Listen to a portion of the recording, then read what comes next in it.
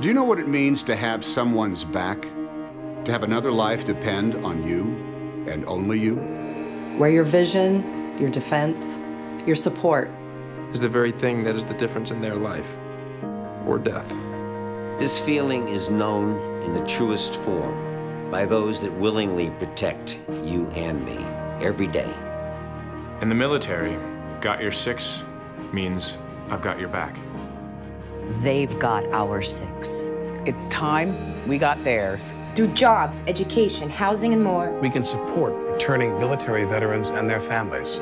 To find out more information, go to gotyoursix.org. They've got our six. Now it's time that we have theirs. I've got your six. I've got your six.